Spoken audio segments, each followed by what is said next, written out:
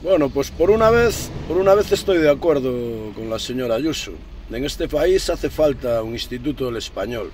Hace falta un instituto del español para que, para que determinados personajes entiendan lo que significa la palabra mínimo.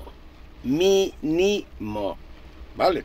¿Qué parte no entendéis de salario mínimo interprofesional? ¿Qué parte del mínimo no entendéis?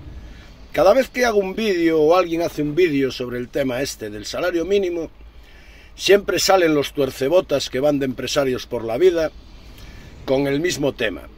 Es que claro, yo no le puedo pagar semejante dineral a una persona que está aprendiendo. Pues sí, es lo que le tienes que pagar. Y si no se lo puedes pagar, no puedes contratar a esa persona. Tienes que trabajar tú tu negocio. ¿Vale? Porque tú no tienes una bula papal ni un mandato divino que diga que tú te puedes hacer rico a cuenta de explotar a tus semejantes. ¿Vale? No, es que claro, porque está aprendiendo bien. Pues la persona que está aprendiendo se le hace un contrato de aprendizaje. ¿Vale? Con sus horas lectivas. Pero claro, eso nos interesa. Vosotros lo que os interesa es tener una persona que cobre el salario mínimo y que os haga el trabajo de un oficial, de un oficial de primera o de un maestro de taller. ¿Vale? Y las cosas no funcionan así.